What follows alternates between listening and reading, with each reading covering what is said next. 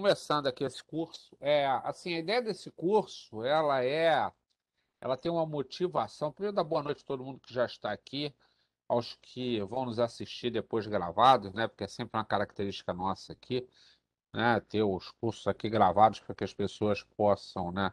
É, enfim, né? Aproveitar depois, quem se inscreveu, enfim, quem é aluno, etc. Depois isso aqui também vai lá para o meu canal do YouTube. É, enfim, né? Então a ideia desse curso aqui é, uma, um, é um assunto que está muito em voga, é um assunto que hoje está aí no, ah, no radar de quem trabalha com investimentos, está né? Tá no radar das empresas. As empresas estão percebendo que é necessário fazer alguma coisa né, em relação à ESG ou ASG, né, em português, ambiente, né, o social e a governança. É, porque o mundo já havia mudado, né? e agora, depois da pandemia, mudou muito mais ainda. É, nós estamos assistindo um fenômeno que é, ele é, é, forte nos Estados Unidos, mas ele começa a ficar forte no mundo inteiro, em que as pessoas estão muito mais preocupadas com as coisas relativas à sustentabilidade.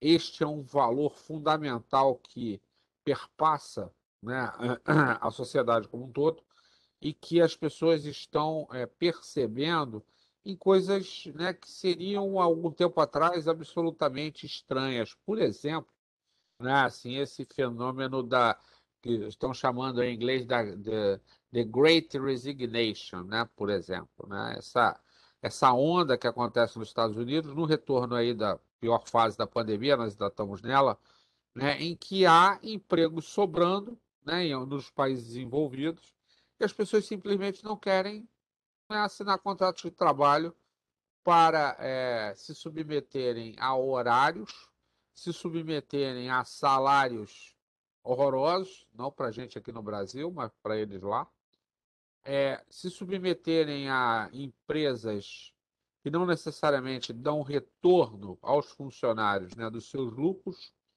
é, que dão retorno aos funcionários né, daquilo que elas é, é, conseguem ganhar no mercado, não reconhecem as pessoas, não estão nem aí para a diversidade, não estão nem aí para, enfim, para a vida né, de cada um.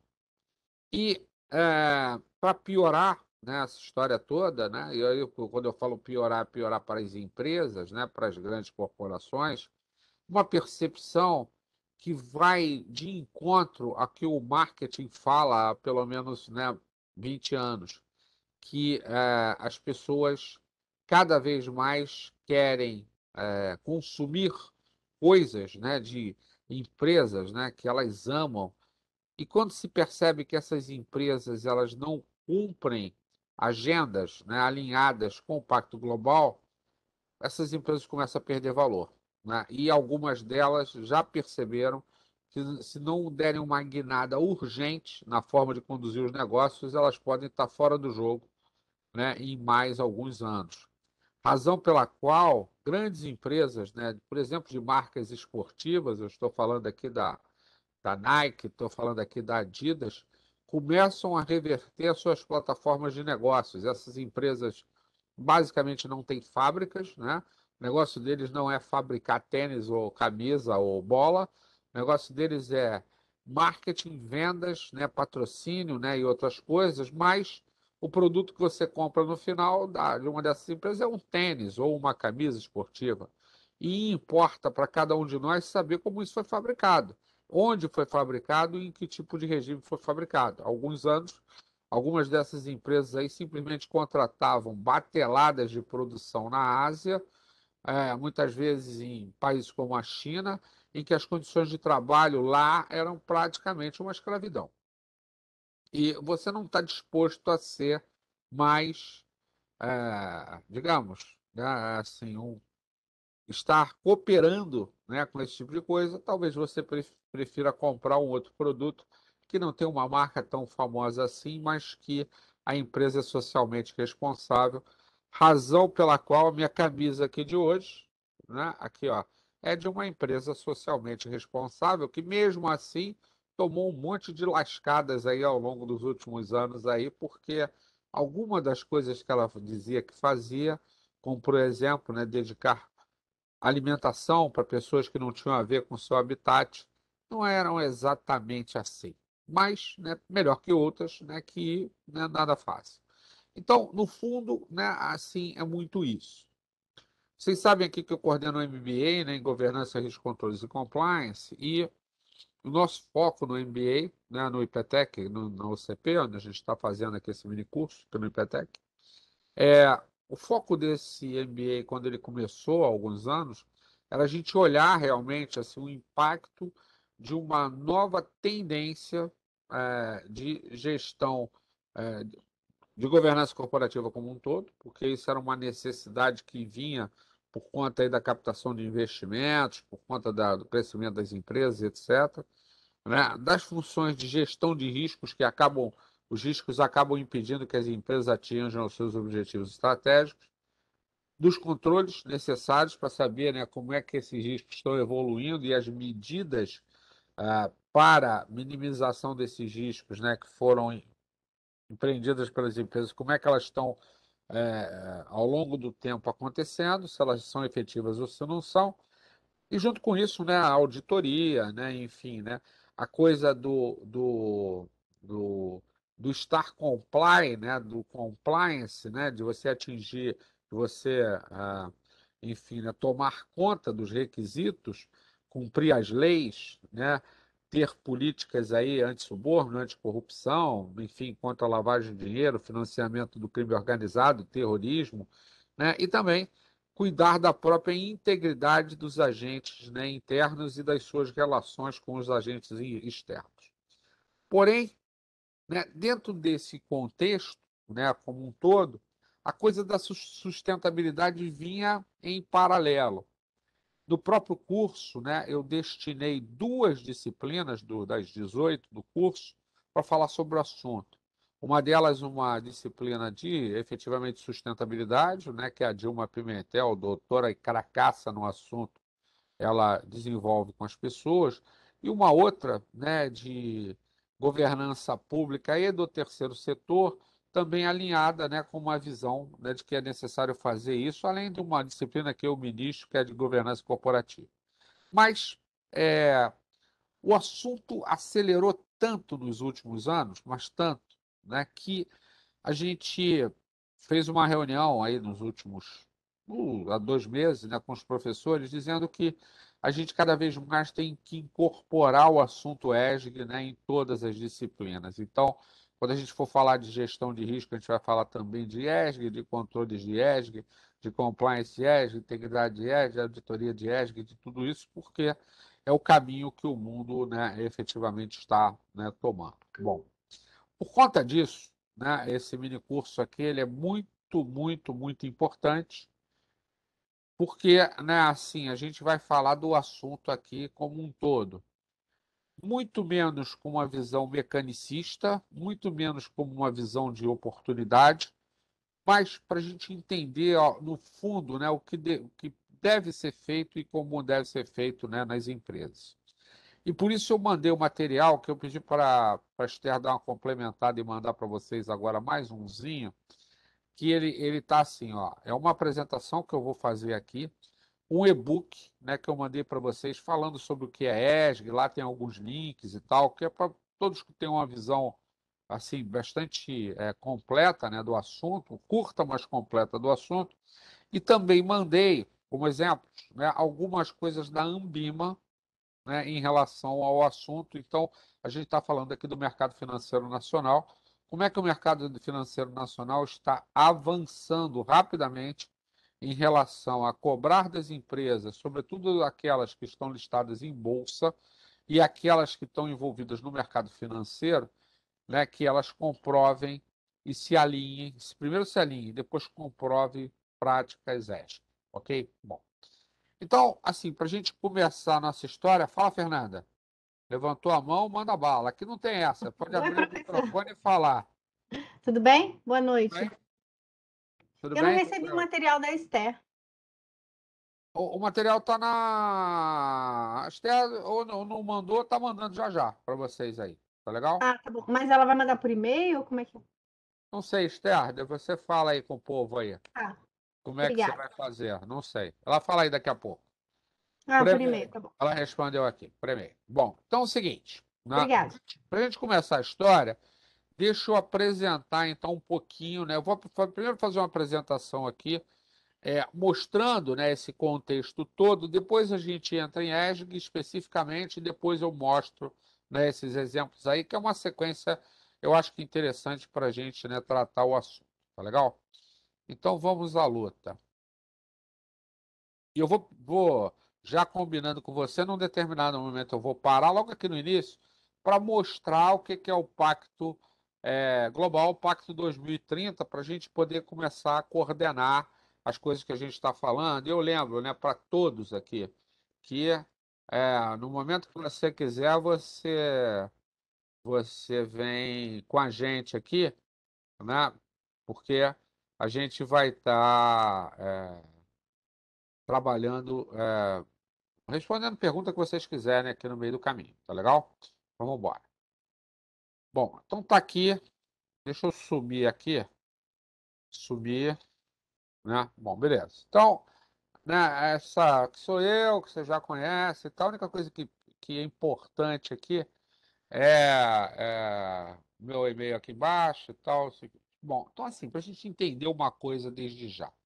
Quais são os grandes problemas, né, de todas as organizações, independente de porte, né?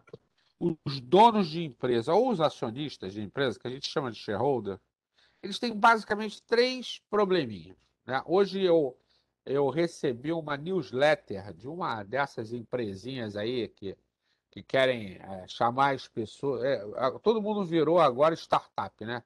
Então os caras acham, eu tenho três empresas, os caras acham que uma das minhas empresas é startup e me entopem de material por e-mail aqui. Invariavelmente falam um monte de besteira que você resolve não ler, né? Joga fora, mas hoje eu estava inspirado, resolvi responder uma dessas newsletters que a gente recebe e disse assim: olha, amigo, eu, é, você conseguiu em um metro de e-mail escrever tanta besteira que se eu mandar para os meus alunos você e mandar eles corrigirem as besteiras que você escreveu, eles reprovam você. Entendeu? Bom, enfim, né? Quando a gente olha para empresas e, vai conversar com um acionista, aquele cara que botou o dinheiro dele a risco realmente, ele basicamente quer três coisas. Ele quer o dinheiro dele de volta capitalizado, né? Que a gente chama de retorno. Ele quer que esta empresa tenha uma boa reputação para que isso não caia no colo dele. Né? Uma má reputação caia no colo dele como pessoa física ou pessoa jurídica. Né? Então, quanto mais essa empresa tiver uma boa reputação no mercado, melhor para os negócios e menos risco ele corre. E a terceira coisa é que essa empresa seja longeva, porque quando você resolve investir em uma empresa, realmente se torna sócio, não só investidor em bolsa de valores, mas quando você toma sócio mesmo, bota lá, integra o capital social da empresa com o seu investimento, você quer que essa empresa lhe dê retorno ao longo do tempo, ok? Ou seja, que ela te dê de volta ao longo do tempo retorno sempre, né? Que isso acontece sob a, sob a forma de dividendos, né, daquele capital que você colocou lá, ok? Muito bem. Bom, agora tem uma outra classe chamada stakeholders, né, que somos nós enquanto sociedade, mas também todos os interessados diretos naquela empresa, e a gente está falando funcionários, a gente está falando aqui de fornecedores, né, etc., que eles querem coisas completamente diferentes.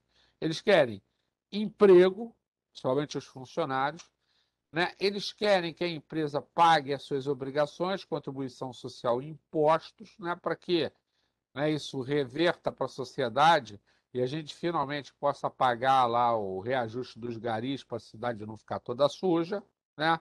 É por aí, né, que o dinheiro, é, governo, basicamente, ele recebe, o Churchill dizia isso, né? Governo tem uma fonte de receita, imposto, não tem outra, né? E tem um monte de fontes de saída da grana, mas a entrada é só via imposto, né? Então, é fundamental que essa empresa esteja bem e continue pagando sua contribuição social e seus impostos. Ok? Bom, E a terceira coisa que a sociedade como um todo quer, mas também os funcionários, fornecedores, etc., é que essa empresa tem uma coisa chamada responsabilidade social. O que, que é responsabilidade social? Eu tenho um exemplo assim muito radical né, em relação a isso, que é o seguinte. A White Martins, que é uma empresa aqui que Brasil, opera no Brasil, que é uma empresa da Praxair né, internacional, ela é uma empresa que produz gases. Entre os gases mais importantes, o oxigênio, que nos serve né, quando a gente está lá hospitalizado, precisa de oxigênio, recebe o balão ou lá, né, vem numa tubulação, mas também oxigênio para várias outras é, aplicações industriais. Muito bem. É, o insumo né, principal da Praxair no mundo é ar. Então, ela capta ar né, e tem processos industriais para separar do ar né, uma série de gases, alguns deles abundantes, como nitrogênio, por exemplo, né, outros menos nitrogênio e oxigênio e, e outros né, menos abundantes, né, como hélio, por exemplo, está no ar, mas as partículas são muito pequenas, então tem todo um processo para chegar lá. E o hélio é um gás, né, vira aí uma, uma, um componente importante para várias outras coisas. Bom, mas veja, né, assim, o que, que a Praxair faz? Ela tem processos industriais para captar ar da natureza e transformar em coisas que nos interessam. Ela é uma empresa que, pela própria característica de processo, né, ela trabalha com coisas que podem explodir. Né? Ela também faz gases né, para soldagem né, e outras coisas. E esse processo, quando você trabalha com qualquer tipo de gás, entre determinadas, é, determinados set points, ele pode explodir. Né? Mas nós, como sociedade, aceitamos este risco por conta dos benefícios que essa empresa pode nos proporcionar, dentre eles, né? A gente tem oxigênio quando tem lá uma crise de dengue e você precisa ser entubado. Olha, é, mas no fundo, no fundo, vou botar uma aspas aqui, né? o bem que ela está captando é público, que é o ar. Uma empresa que vende água, como Águas do Rio, Águas de Niterói, etc., ela capta a água de algum lugar, de um rio, né? por exemplo, aqui no Rio do Guandu, trata a água e entrega a água na nossa casa. E nos cobra por isso. Nos cobra pela captação, nos cobra né, pelo serviço todo de tratamento da água, nos cobra pela distribuição e nos cobra pela manutenção da rede. Né? É isso que ela nos cobra. A água em si é grátis, é gratuita. Ok? Quando alguém você compra lá um galão de água em algum lugar, pelo princípio universal, aquela água é gratuita, mas o galão não é, a captação não é, a distribuição não é, a disponibilidade não é, etc. Né? Ok. Agora, se esta empresa, qualquer uma que a gente citar aqui, né, ela é, acaba fazendo coisas né, que não são razoáveis, a gente passa, como sociedade, a entender que aquilo ali não está legal. Quem me acompanha nas redes sociais sabe que eu vivo postando fotos de postes porque um dia eu quero entender o que, que é essas concessões, o que são essas concessões públicas aí de energia, distribuição de energia, né? Porque no fundo os velhos postes não foram trocados e eles têm quatro vezes mais cabos do que deveriam que tinham no passado, né? Claro, tem mais demanda, mas assim alguns estão praticamente caindo. Assim, quando você vai à Europa, aos Estados Unidos, em outros lugares, não tem fio na rua pendurado em poste. Eles estão todos subterrâneos. Por que, que aqui, então, a gente tem que conviver com um poste pendurado que cada vez que chove ou venta, cai a energia? Né? É estranho. Né? Ah, tudo bem. Essa empresa garante lá que a gente recebe energia em casa. Beleza. Mas em que condições? Né? O cara sobe no, no poste e rouba o fio, porque o fio está lá. Se ele não tivesse lá, e se ele tivesse enterrado dois metros embaixo da terra, o cara não ia cavar um buraco né, para tirar lá um fio lá de dentro, que seria muito mais difícil fazer isso. Então, até o roubo de cabos acontece porque essas empresas não estão tocando, né? Assim, é o seu negócio numa boa e a gente tem, não, acaba não tendo uma percepção boa delas, né? Então, assim, que, que acontece quando uma empresa, né, é mal gerida? Que ela não entrega de volta para o shareholder aquilo que ele quer, ou não entrega para a sociedade aquilo que a sociedade quer. Quando ela sofre ou provoca acidentes, como é que fica? Quando ela forja resultados e é pega com a boca na botija, né, pelas auditorias, né, enfim, públicas ou por multas, etc., o que, que acontece? Quando essa empresa não é ética nos seus relacionamentos, está sujeita aí a casos né, de suborno, corrupção, é, enfim, desvio de recursos, né, fraudes, como é que fica? Quando ela entrega produtos e serviços de má qualidade, como é que fica? Quando ela não é transparente com seus shareholders e seus stakeholders, e há inúmeros casos disso no mundo, empresas que você possivelmente gosta, Parmalat no passado, Petrobras e várias e várias outras empresas por aí. Né? Nós, como sociedade, começamos a colocar essa empresa sob júdice. E os investidores também. Né? Porque assim, eu não quero meu dinheiro sob um risco maior do que o normal.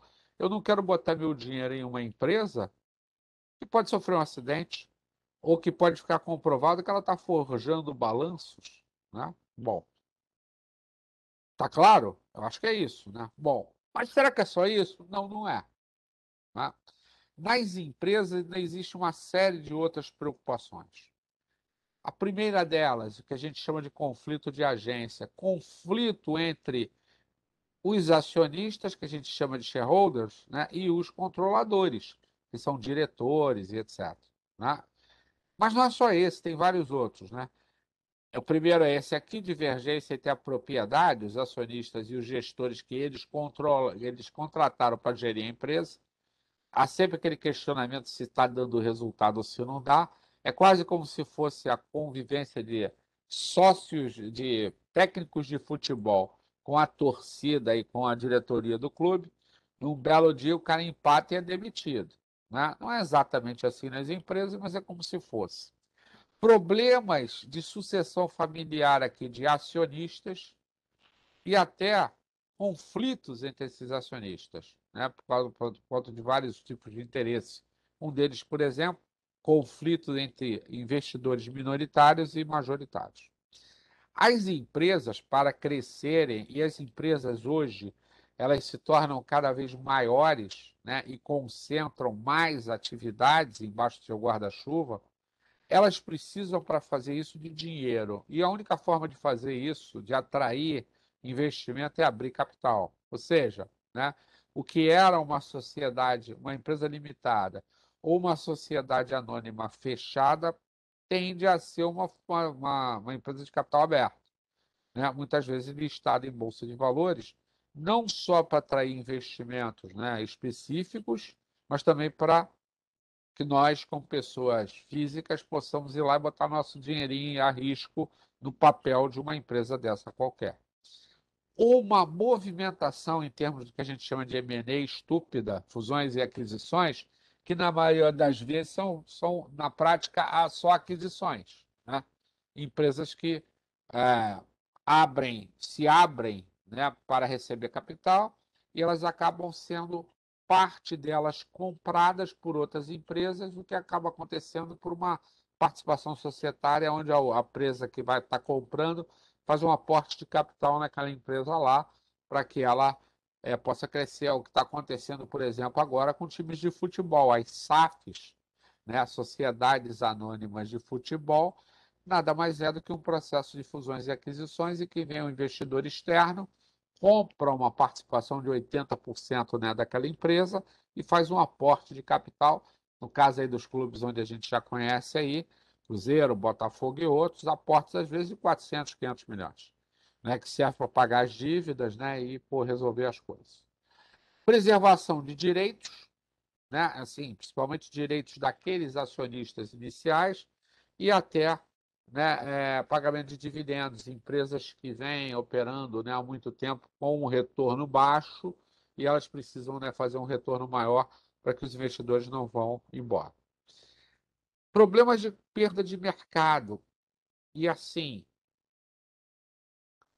é, ligados à qualidade e produtividade de produtos e serviços, não acompanhamento de tec novas tecnologias e também ausência de inovação.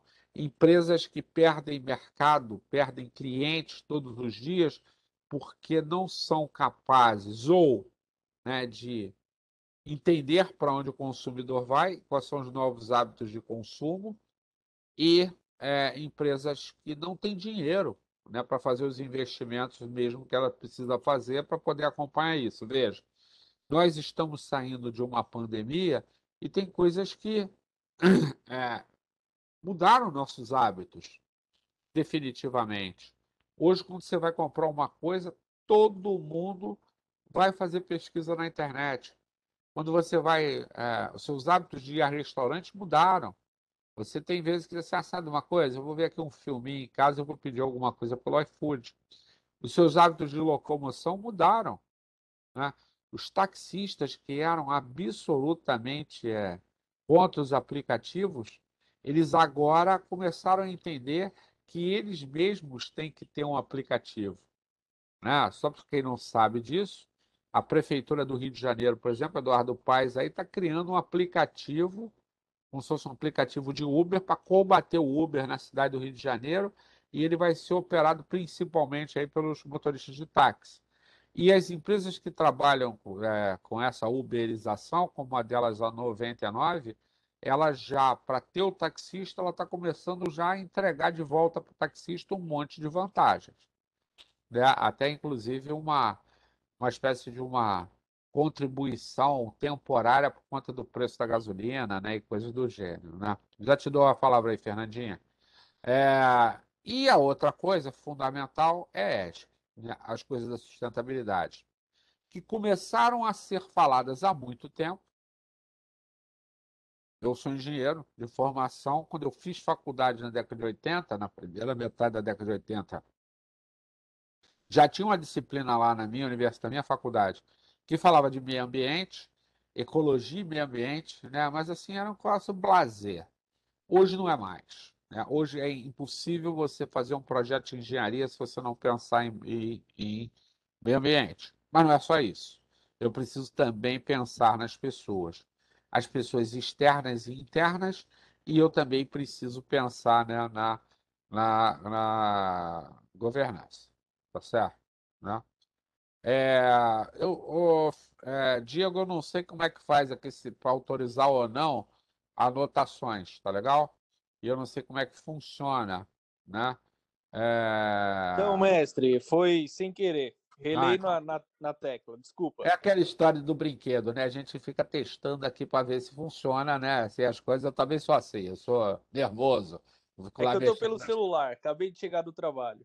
Não, beleza. Então, assim, essas coisas aqui, né, que são preocupações que, junto com tudo que está acontecendo, está né, tá na cabeça das empresas. E mais uma, Fernanda, só para te dar a palavra aqui, é o seguinte: para onde a gente vai nesse mundo completamente doido?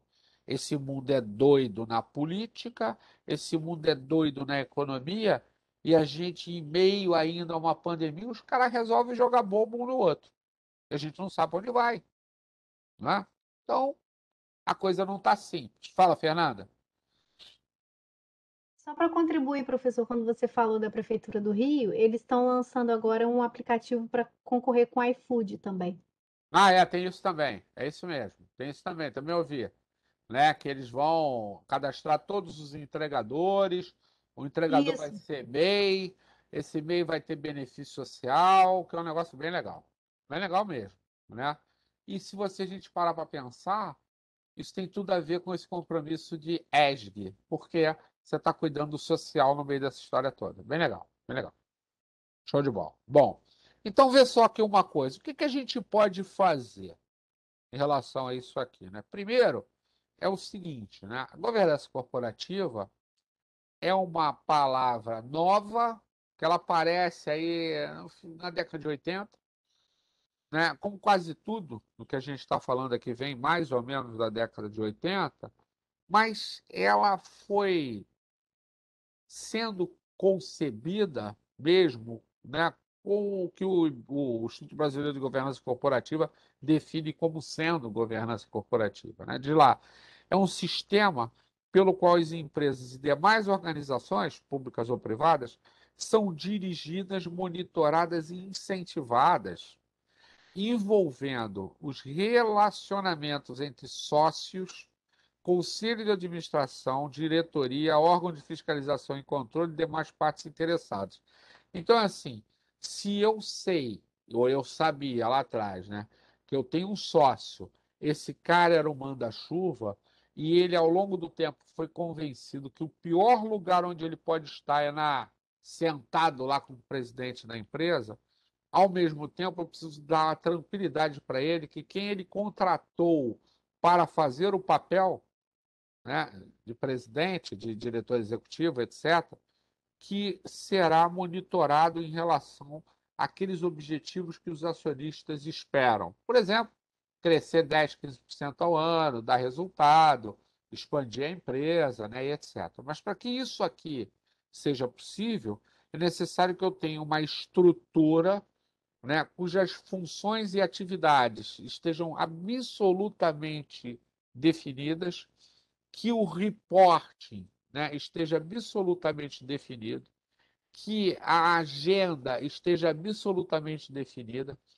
para que isso aqui possa funcionar. E que eu tenha um sistema de avaliação da gestão o tempo todo, né, acompanhado por órgãos que ficam dentro do conselho né, de administração eleito né, pelos, pela Assembleia de Acionistas, que possam acompanhar a gestão no dia a dia. É, só para fazer um pequeno parênteses disso, a moda né, aqui no, na, na, na terceira década deste milênio, né, desse século, é a estruturação de agentes de governança e de um escritório de governança corporativa, né, é, como se fosse um, um, um de Office, né? ou seja, é um, um Corporative é, Governance Officer, ou seja, uma estrutura de uma, um escritório de governança corporativa para gerir né, as, as agendas, para a gente simplificar a história, da própria governança corporativa, ou seja, é uma estrutura interna montada dentro da empresa com o objetivo né, de entender os passos da governança corporativa, no sentido de que ela possa, ao longo do tempo, é, construir maturidade. Se a gente entende isso como tendência, a gente pode já de cara dizer que esse novo organismo que começa a nascer nas empresas, empresas que já têm uma certa maturidade, ele possivelmente também será o gestor das estratégias ESG nas empresas. Ok? Né? Então, é uma coisa para a gente já começar a pensar. Bom, envolvimentos da governança corporativa. Né? Além do board, que a gente já falou dele, ele tem uma série de coisas aqui para tratar. E talvez seja, eu vou fazer uma anotação aqui, né? talvez seja aqui, né? as funções né, deste, vou escrever aqui embaixo, né, desse DC Officer que eu acabei de falar aqui, tá legal? Seja é, uma das funções desse DC Officer aqui, cuidar desses assuntos aqui. Não é que ele vai gerir esses assuntos, mas ele vai acompanhar esses assuntos. Então, olha lá, a própria estrutura legal e regulatória que se impõe sobre a empresa. A hierarquia organizacional e a coisa mais importante que tem numa empresa que é a sua cultura organizacional. A gestão de riscos, monitoramento e controles ou seja, essa estrutura, DC Officer, não vai ser quem é que vai tocar gestão de risco, monitoramento e controle, que isso é uma função de segunda linha de defesa. Mas ele vai acompanhar para ver se os passos que foram programados né, pelo Conselho de Administração se estão sendo cumpridos. E vai falar com o Comitê de Gestão de Riscos e Controles, ou Gestão de Riscos, Controles e Compliance, se vocês quiserem, que está lá no Conselho, né, assim, se reportando né, diretamente ao Conselho e à diretoria executiva. Vai cuidar da coisa da transparência e da prestação de contas, do accountability. Vai cuidar da atualização das políticas e processos de gestão, todos da empresa. É, da atualização dos códigos de ética e conduta, ou seja, né, leia-se como instrumentos né, das, é, do compliance e da integridade. E da sustentabilidade no seu aspecto mais amplo possível. Ou seja, né, se eu estou pensando em ESG, se eu estou pensando né, em, em tocar a empresa com uma cultura ESG, isto aqui é fundamental. Faz sentido? Olha aqui. A governança ela tem um papel fundamental, papéis fundamentais. Realizar a missão e cumprir a visão dos acionistas, né? preservar e fortalecer os valores elencados como fundamentais, garantir o atingimento, atingimento dos objetivos né, corporativos, fazer a empresa sobreviver, aquela coisa da longevidade, né, e crescer, prosperar, se multiplicar, dar retorno aos acionistas e cumprir seu papel social e ambiental. As perguntas: o que garante né, que elas possam realizar isso e o que as impede?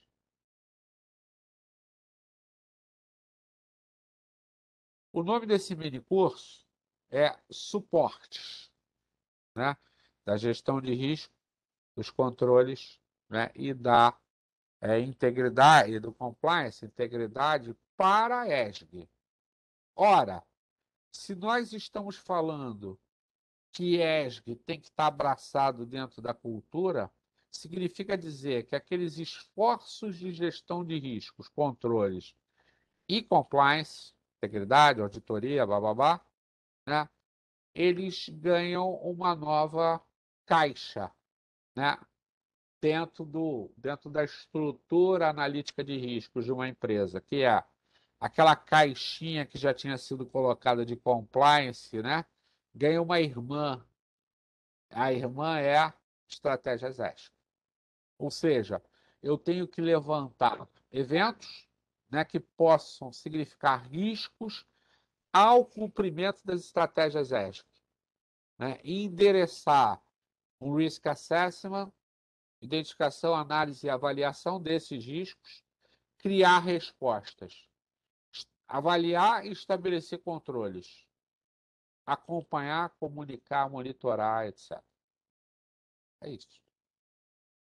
Simples assim. Olha, olha uma coisa importante.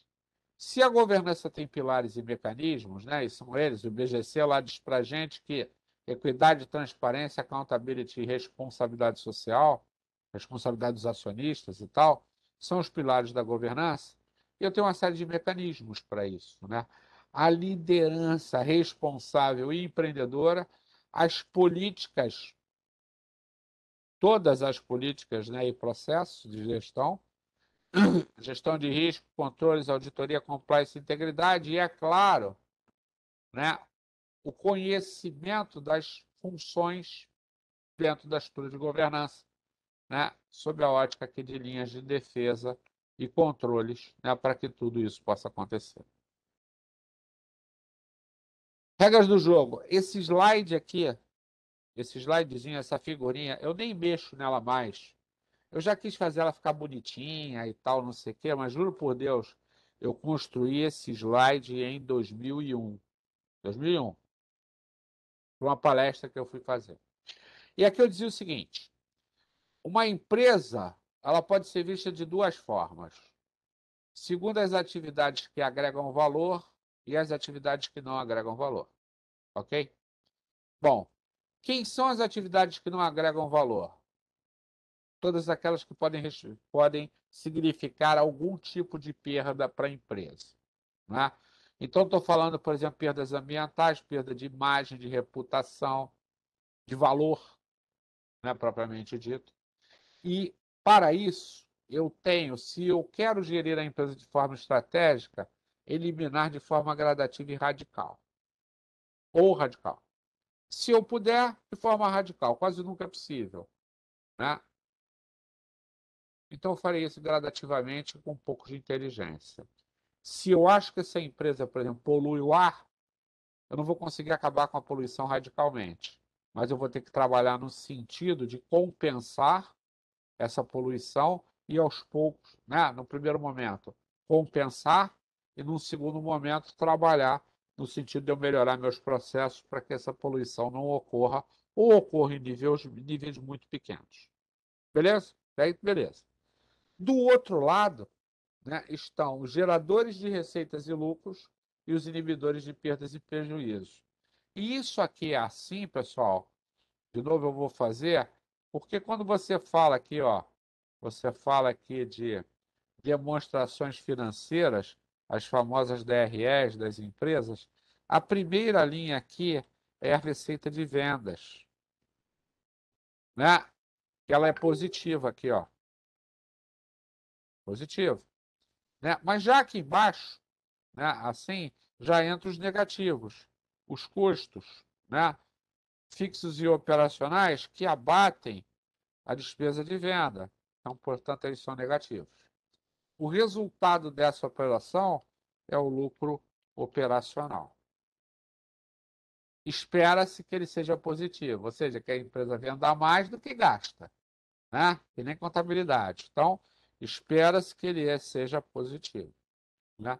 E aqui para baixo você abate o resto.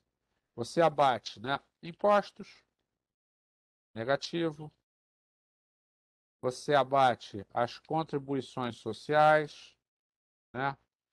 negativo, né? Vai embora. Você abate, né, aqui o PDD, negativo. Provisão para devedores para devedores duvidosos, né?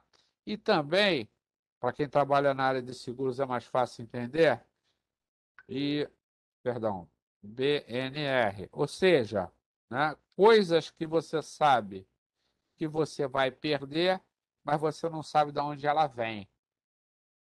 Né? Então, por exemplo, pode ser que nesse exato momento a sua empresa esteja é, incorrendo aí num processo de imagem, né? mas você ainda não tem reclamação ainda. Incurred but not reported, é o IBNR. Né? Bom, quando você soma tudo isso aqui, efetivamente você tem aqui o lucro, né? e você ainda tem que abater aqui o imposto de renda sobre o lucro, que é o famoso LAGIR, aqui, aí você tem, né, evidentemente, aqui dividendos a distribuir para os acionistas. É isso. Então, olha só. Professor, Quem... ele também tem o. É a Fernanda falando, tem o... a contribuição sindical. Ah, não, tá bom. Pô, Fernanda. Olha aqui, ó. Eu tô brincando com você só porque eu sou da confederação. Não, tá bom, mas assim, é que eu, eu, eu, sou, eu sou acossado por. Eu já contei essa história, você já me ouviu contar essa história. Eu sou acossado por contadores. Meu pai era contador, meu filho é contador. É desesperador. Você conversa, se eu converso com meu filho, em dois minutos ele está na minha planilha orçamentária. É desesperador isso, os contadores, né? Professor, vai ser uma brincadeira, porque eu trabalho numa confederação. Não, eu sei, claro, eu sei disso. Olha aqui, ó. Mas assim, pior seria se eu casasse com uma contadora, né? Coisa que eu não fiz. Eu casei algumas vezes, mas nunca foi com contadora. Bom, olha aqui. Quem são os geradores de receitas e lucros, então? Tcharam! Né? Quem são? Quem é que gera nessa continha aqui quem é que gera receita e lucro aqui? Caramba, não consigo achar a minha bolinha aqui. Feia coisa. Quem é que são os geradores de receitas e lucros? Se eu conseguir achar minha bolinha, eu vou dizer para vocês, hein? Tá aqui, ó. São esses caras aqui, ó. Tchum, tchum. Né? Gera receita. Teoricamente, o lucro está dentro da receita. Agora, nós todos somos responsáveis por tudo isso aqui, ó. Nós somos aqui, ó, gestores de custos. Deixa eu subir isso aqui um pouco. Não, tá bom aqui mesmo. Nós somos gestores de custos.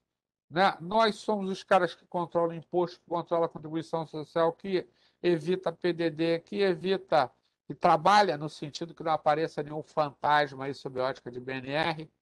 Enfim, são nós que protegemos a empresa. Então, veja que loucura que nós nos metemos.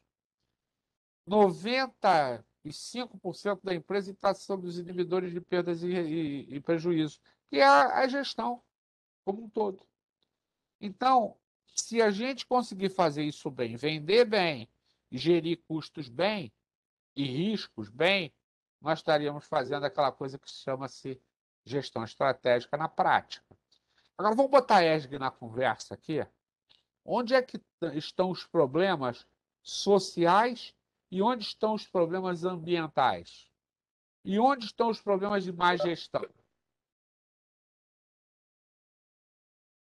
Ou estão aqui. que geram. Ah, eu achei que era uma pergunta, professor. Não, é, pois é, ou estão aqui nas. É a pergunta para mim mesmo.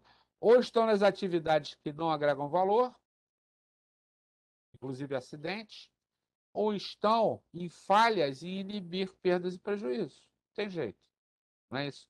Portanto, para eu gerir estrategicamente uma empresa, eu tenho que olhar para a empresa sob a ótica de risco e controle. Não tem jeito.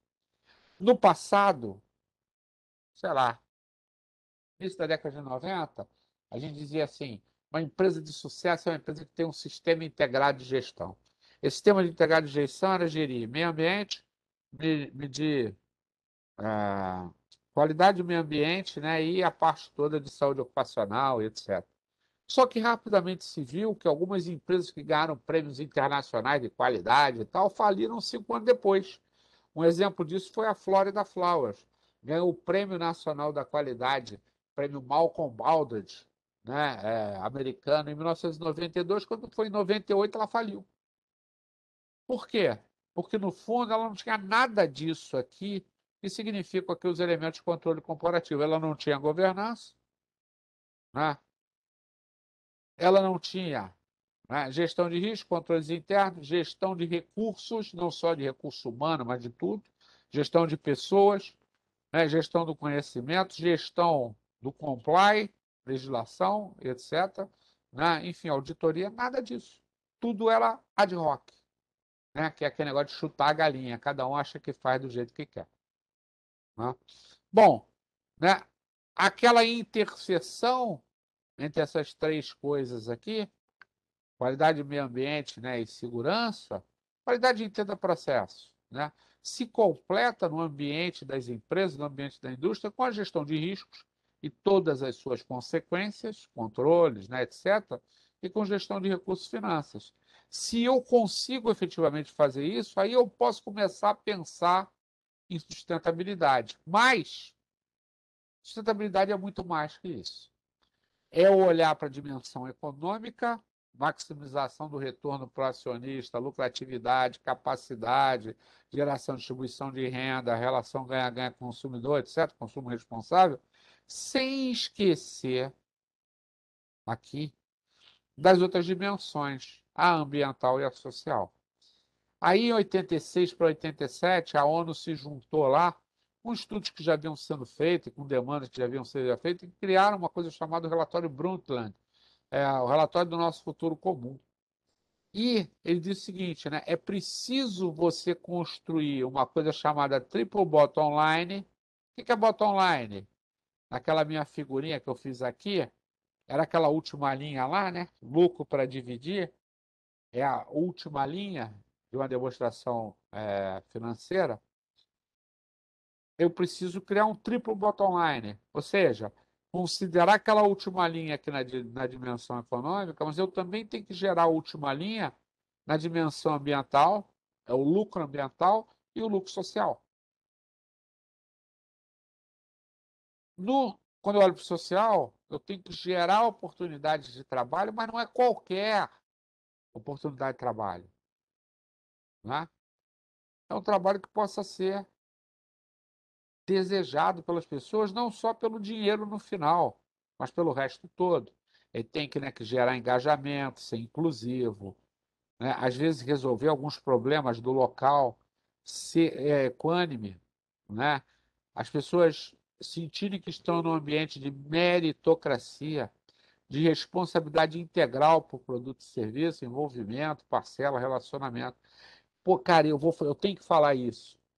Pessoas que eu adorava no passado, eu adorava no passado, e que são até hoje meus amigos, e que eu acompanhei ao longo da vida, são pessoas assim hoje abjetas sobre a minha ótica de pensar as empresas e a gestão. É, eu ouvi uma coisa de um cara que eu gosto como pessoa, mas que pô, foi tão ruim. Até porque foi uma coisa que eu nunca pratiquei na vida, mas assim, mas eu eu, eu parei para pensar, sabe? E dizendo assim, pô, sabe, isso explica muito das coisas que a gente está vivendo. O cara falou para mim, as empresas hoje são cheias de mimimi. Né? Se você faz uma gracinha com uma mulher, você é logo condenado. E quando ele me falou isso, eu disse assim: olha, depende da gracinha. Porque se você estiver fazendo humor, e desde que haja consentimento que você faça o humor, está tudo bem. O problema é que não pode ser unilateral. Percebe?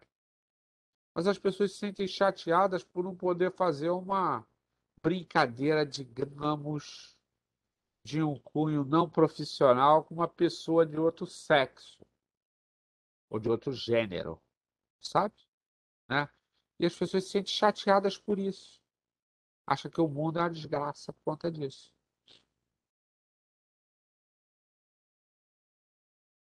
E não cabe mais sabe? Não cabe mais. Eu tenho orgulho de dizer, porque é uma coisa para a gente se orgulhar, né? Que pessoas que trabalharam comigo de outro gênero, não estou falando de outro sexo, estou falando de outro gênero. O primeiro discurso que ouviram da minha boca na minha sala foi: né, se alguém fizer alguma gracinha com você, meta a mão na porta, pode estar com 500 pessoas aqui dentro, né, que eu quero ouvir a sua reclamação e não sairá daqui sem providências. Jamais. Entendeu? Porque eu sempre pensei que as pessoas têm que ser respeitadas, mas isso não é a visão comum. Eu sei que não é. Da mesma forma né, que preservar recurso natural e biodiversidade deveria ser uma atitude inteligente e não é nós estamos assistindo aí está acontecendo. E eu não estou falando de uma questão política, porque é fato, está acontecendo. Pessoas com a cabeça no século retrasado. Não é? Pessoas que ainda pensam que vivem no ciclo do café, no ciclo do açúcar e do algodão. E que não entendem né, a importância do ambiente para continuarem vendendo que é fundamental. Né? E todo o resto, né? A, a, a, coisa que assim, uma das palavras que eu mais gosto é a palavra que eu botei ali chamada ecodesign, que é você projetar para ser ecossustentável e ecoeficiente e aproveitar todas as oportunidades que isso traz. Eu não consigo entender porque casa popular já não sai com sistema de fotovoltaico em cima do telhado. Não é para ser popular? Então, arruma um jeito do cara gerar energia para ele mesmo e para a rede, né? Por aí. E assim, tudo isso depende muito, né, de uma nova visão em relação à produção. Porque não é só produzir, ok? Né? Você tem que produzir preservar e tirar as melhores oportunidades de tudo isso. Né? O que é complicado. E faz com que as empresas tenham que investir em sistemas de gestão né, certificáveis e rastreáveis na prestação de contas da gestão, em relatórios né, de sustentabilidade e memorial de impacto, o que dá um trabalho do tamanho do planeta e que quase ninguém sabe fazer. E quando faz, muitas vezes são apenas obras de marketing. Né? Vocês sabem exatamente aí do que eu estou falando. Muito bem. Bom, a busca da tal da sustentabilidade corporativa, então, passa por essas coisas. Né, por maturidade na gestão corporativa, né, da própria governança, da incorporação, divisão de risco nas estratégias, operações e tomadas de decisão, inclusive em relação à ESG, nos controles, estabelecer barreiras robustas, regular e, regular e supervisionar, e por compliance, regra de conduta, adequação, cumprimento das normas, inclusive as sociais e ambientais. Tá certo? Então, assim, ESG é, é uma visão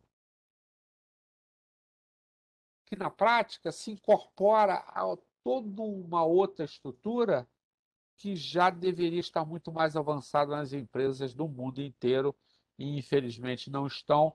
Mas se elas não fizeram porque era legal fazer, agora vão fazer para sobreviver, porque não há outra forma. É apenas essa aqui. Bom, então, para a gente entrar no assunto, eu vou tirar aqui a minha apresentação aqui um pouco, para mostrar uma outra coisa que eu queria compartilhar com vocês. Tcharam! Aqui. Vamos dar uma olhada. Eu falei de Pacto Global. Vamos ver o que, que é isso. Estão vendo aí, né? Minha tela branquinha. Vamos embora.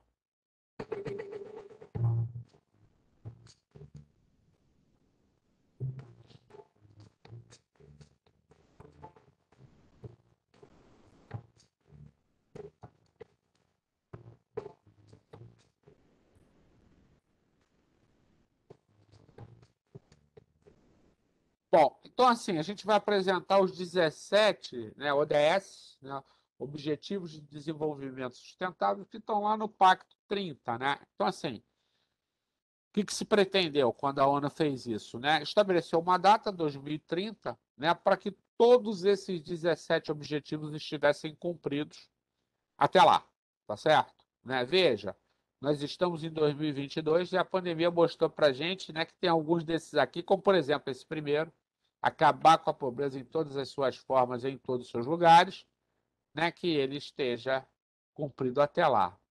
E aí, se você quiser começar a pensar, eu gostaria que você começasse a pensar nisso, é o seguinte, né? É, com um pensamento assim bem lá no fundo da nossa alma, né? Assim, o nosso próximo presidente da República, seja ele quem for, de direita, de esquerda, de centro, de costas, qualquer um, né, que não estiver olhando para 17 ODS, vai estar excluído pelo mundo. Beleza? Né? Então a gente tem que pensar nisso. É importante para a gente estar incluído. Vamos lá.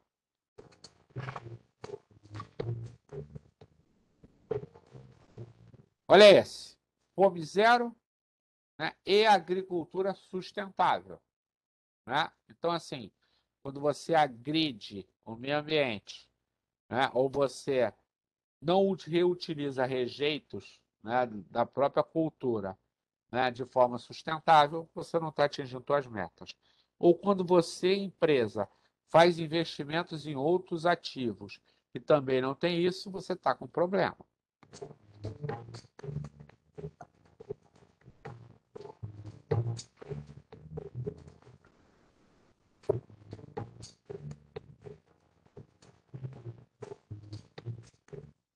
Pessoal aqui da saúde suplementar, olha o tamanho do abacaxi para as operadoras.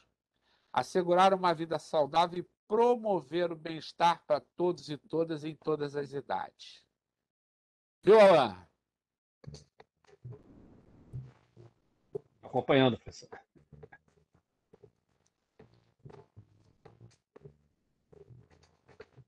Segurar educação inclusiva, equitativa e de qualidade, promover oportunidade de aprendizado ao longo da vida para todos e todas. Nós aqui estamos pensando nisso direto.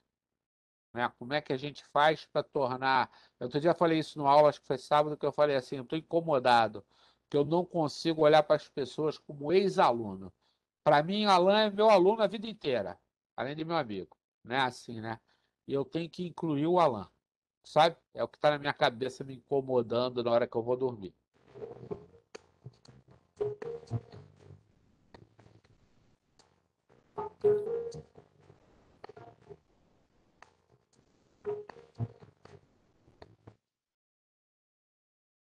Me perdoem a pergunta. Faz sentido ter banheiro de gênero? Ou, ou não faz sentido nenhum? Né? Nas empresas. Eu tenho que ter banheiro. Ponto. Né? Essa história de banheiro feminino, masculino, para dar um exemplo bem chulo. Faz sentido ter empresa, espaço físico? Né? Faz sentido todo o resto, né? as formas de competição interna, salários diferenciados por gênero, já era.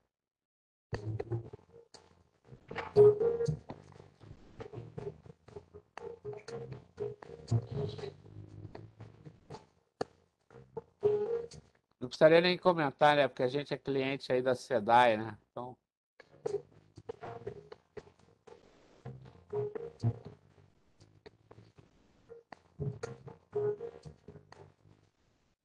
Carro, para que carro? Né? Carro movido a combustível fóssil a R$ reais o litro?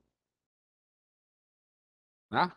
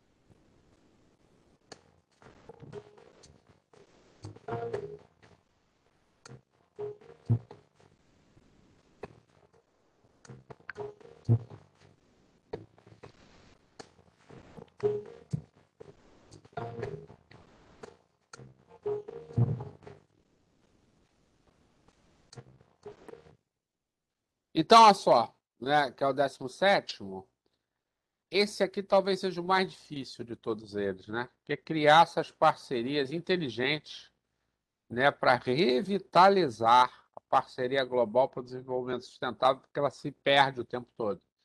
Mas agora as pessoas descobriram, sobretudo aí depois da pandemia, que é preciso correr, né? E o mundo está correndo, começando a correr.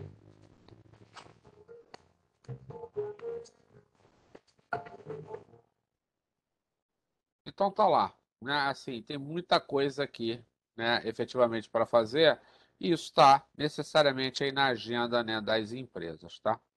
Então, rapidamente, para a gente entender o assunto, para a gente passar para lá, a gente tem que falar aqui, então, né, de riscos e controles, necessariamente, né, que são as coisas, né, da tal da combater a incerteza né, sobre os objetivos, que é a definição de risco, né?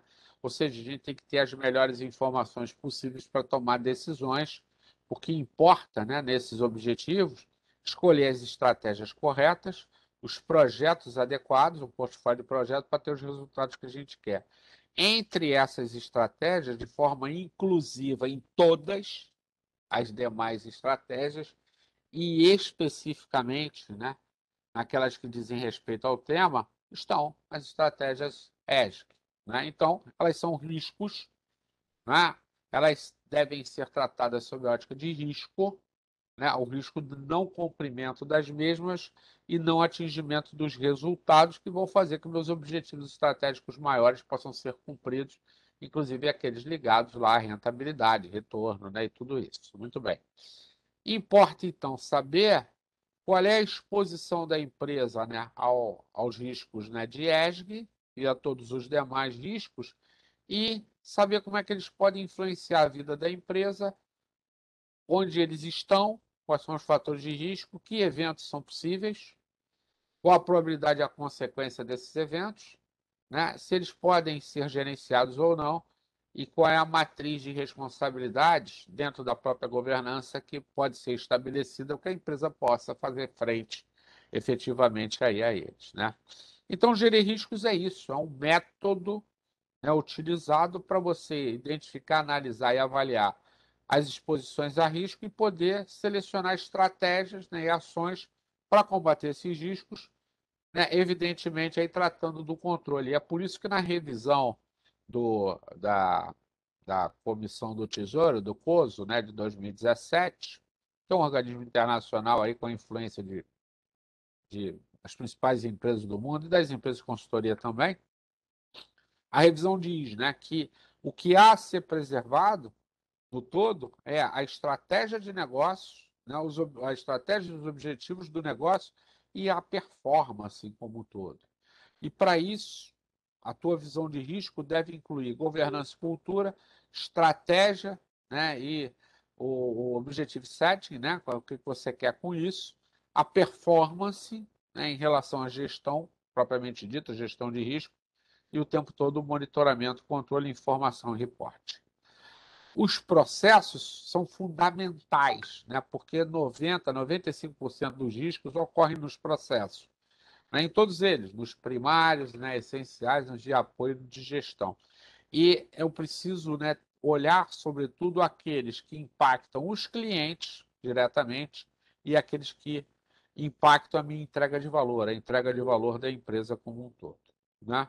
E aqui tem um mapinha aqui de gestão de processo, só para lembrar vocês de como é que você faz para melhorar o processo. Bom, os controles podem ser aplicados a qualquer coisa, né? mas eu preciso entender né, como é que se faz controle do atingimento dos objetivos estratégicos. Né? Então, como eu vi, os objetivos estratégicos são construídos a partir das estratégias, dos projetos, dos processos, né? e os resultados saem deles. Na verdade, o que eu tenho que controlar são os projetos e processos que a empresa escolheu para atingir seus resultados, dentre eles os, as estratégias né, ESG. E né, evidentemente, isso vai ser feito tanto é, lá onde essas ações ocorrem, que é a primeira linha de defesa, por meio de uma série de controles e medidas, mas de forma corporativa, na segunda linha de defesa, por vários órgãos corporativos, né?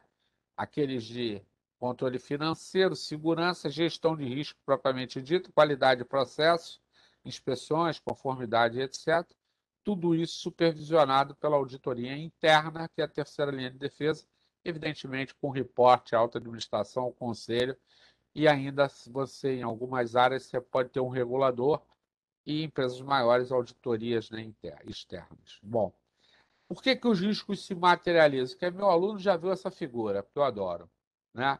Eles acabam se materializando porque tem uma série de possibilidades né, de é, enfraquecimento de controles e barreiras. Quando isso aqui acontece, você cria a oportunidade que os riscos virem perdas. Né? Então, tudo que há a fazer é você criar controles e barreiras fortes né, para que eles batam nas barreiras e voltem. Por exemplo, né, programas de compliance efetivamente ativos, problem, programas de gestão de riscos efetivamente ativos, acompanhamento das respostas aos riscos, né, com matrizes de responsabilidade, por exemplo, né, fazem esse tipo de coisa que acontecer. Com auditoria interna, né, em várias áreas, financeira, normativa, econômica, operacional, por aí vai. E com compliance, né, efetivamente. Né, que você faz a mesma coisa, um assessment de riscos de compliance, né, e você percorre né, vários passos né, para que você possa ter certeza de que você está atingindo os seus objetivos né, específicos em relação à conformidade. E, eventualmente, você abre a possibilidade de canais de denúncia, que tem a ver com integridade também, né, de forma que externa e internamente a empresa possa ser avisada, desde que você tenha um ambiente né, para isso aqui, de que coisas não efetivamente leais com aquilo que ela pretendia possam estar ocorrendo. Né? E aí, compliance, né, que é uma visão ampliada da história, você pode, poderia falar de compliance corporativo, operacional, jurídico, cultural e até concorrencial, mas no fundo, né, o que interessa é você estar seguindo as regras e as legislações, né, que é a obrigação da empresa, o que a sociedade e os acionistas esperam dela, né, e também né, de integridade né, o que se faz aí por meio né, de alguns pilares, comprometimento da alta direção, senão nada acontece, né? é um processo top-down, uma instância responsável para cuidar dos assuntos de integridade, né? inclusive fazer investigação, etc. Né? Da análise né, de, é, de perfil e riscos na empresa e análise de perfil de risco das pessoas que integram a empresa, regras e instrumentos que estão nos códigos de ética e de conduta, e no monitoramento contínuo, né? com apoio de legislação como lei anticorrupção, antissuborno, prevenção, lavagem de dinheiro, segurança da informação, e por aí LGPD e por aí vai. Bom, isso aqui tudo faz sentido para você? Né? Então, se faz sentido para você, eu vou mostrar aqui o nosso e-book. Eu botei em algum lugar aqui, deixa eu só me Deixa eu só acabar com a minha bagunça aqui para poder mostrar para vocês aqui rapidamente. É. Vamos lá. Tá meu book? Tá aqui. Então, eu mandei um e-book para vocês.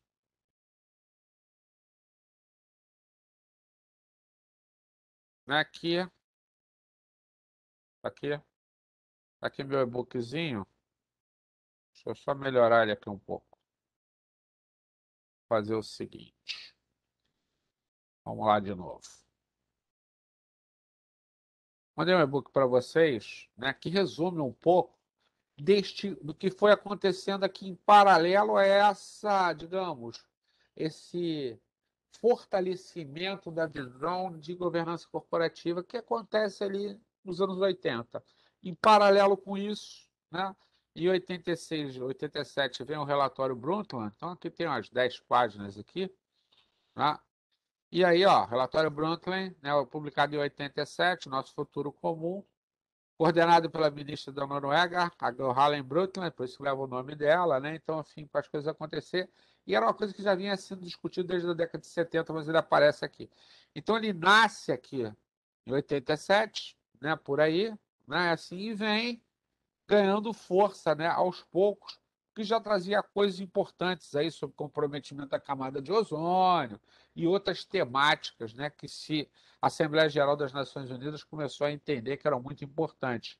No próprio relatório Brundtland, né, onde aparece esse tripé, a ideia também do triple bottom line, que é um pouquinho anterior, e uma visão né, de que não é só tratar do econômico, do social e do ambiental. Você tem que incorporar os aspectos políticos os aspectos né, de tecnologia e também os aspectos culturais, porque é diferente né, em cada um dos lugares onde você vive. Né? Então, esse e-bookzinho aqui para vocês darem uma lida, né, porque tem muito do que aconteceu de lá para cá. Né? Inclusive, é uma definição que diz o seguinte: o desenvolvimento sustentável é o desenvolvimento que encontra as necessidades atuais sem comprometer a habilidade das futuras gerações de atender às suas próprias. Muitos de nós vivemos além dos recursos ecológicos, por exemplo, em nossos padrões de consumo de energia. No mínimo, o desenvolvimento sustentável não deve pôr em risco os sistemas naturais que sustentam a vida na Terra, atmosfera, água, solo, seres vivos. Na sua essência, o desenvolvimento sustentável é um processo de mudança, no qual a exploração dos recursos, direcionamento de investimentos, a orientação do desenvolvimento tecnológico e a mudança institucional estão em harmonia e reforçam o atual futuro potencial em satisfazer as necessidades humanas. Nessa, nesse texto, tem algumas coisas importantes. A primeira delas né, é dizer que o direcionamento de investimentos ele deveria mudar e ser direcionado para empresas preocupadas com o desenvolvimento sustentável. E uma outra coisa, ele fala de uma mudança institucional em harmonia, né, e que reforça o atual e o futuro potencial né, de satisfazer as, as aspirações e necessidades humanas. Então, se o consumidor começa a mudar e perceber outras coisas, quem não estiver no jogo do consumidor está fora do mercado e vai embora. Tá? E para isso é necessário né, mudar as empresas radicalmente nesse sentido. Várias medidas propostas lá, então, limitação do crescimento, preservação da biodiversidade e no âmbito internacional, algumas metas propostas lá. Adoção de uma estratégia de desenvolvimento sustentável, proteção de ecossistemas, banimento das guerras, olha só. Implantação de um programa de desenvolvimento sustentável pela ONU. E isto aqui, esse último, acabou sendo desdobrado né, ao longo dos tempos, né? e foram aparecendo outras necessidades. Né? A perspectiva de fome, a perspectiva de novas energias, né? a perspectiva de uso de materiais reciclados, né? a redução de uso de produtos químicos prejudiciais à saúde na produção de alimentos. Né? Por isso que quando estoura aí que o Brasil abriu as portas para o agrotóxico, é um escândalo no mundo inteiro, porque é contra a estratégia 2030. Né? Nós estamos olhando para como se ele estivesse no início dos anos 80 no Brasil hoje. O foco era somente em governança, no que eu mostrei para vocês, mas aí as normas começam a mudar e as pessoas começam a entender que não é só isso. No Brasil, né, o que, que acontece em terras brasileiras? A gente ainda está em uma fase muito inicial. Algumas empresas né, estão dando passos mais avançados, poucas, outras não.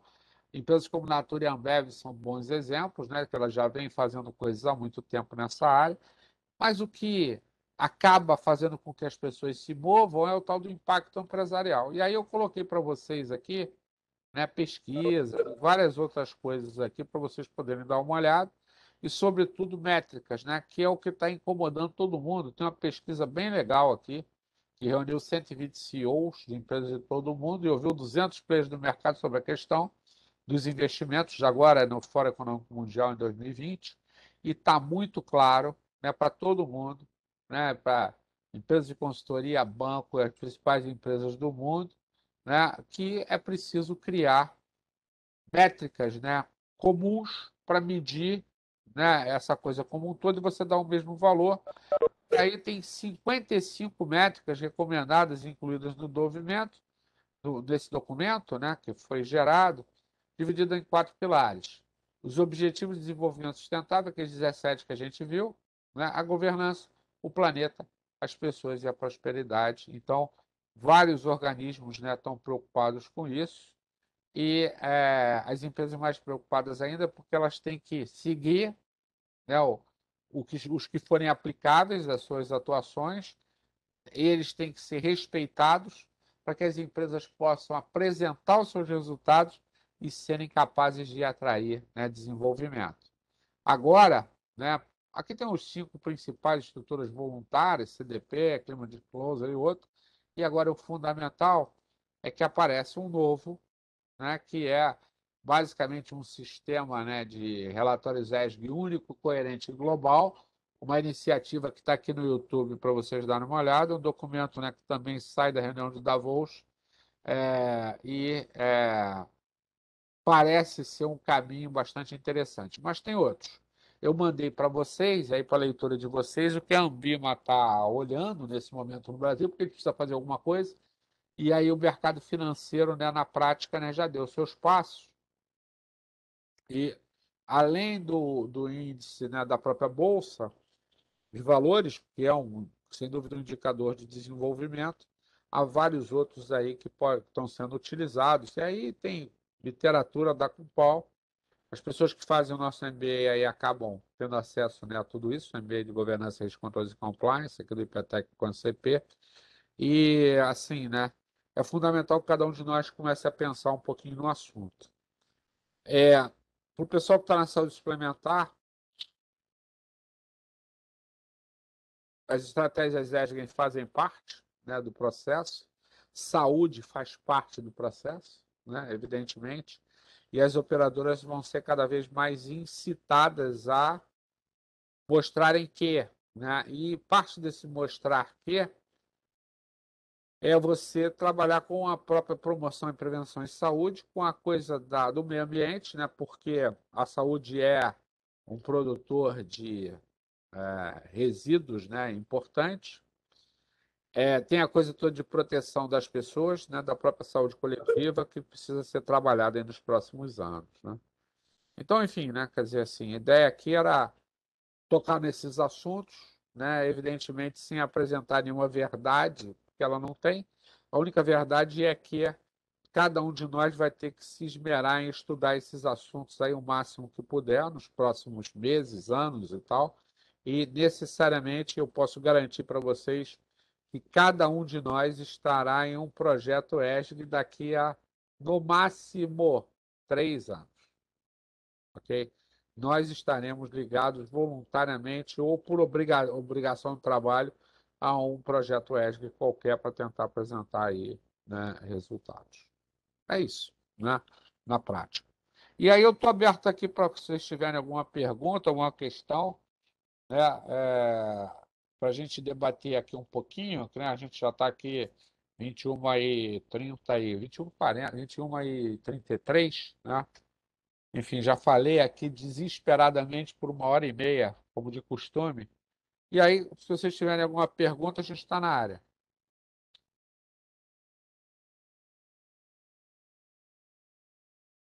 Pode ser aqui direto, abrir aqui, falar, levantar a mão se quiser, ou então aqui por, por chat.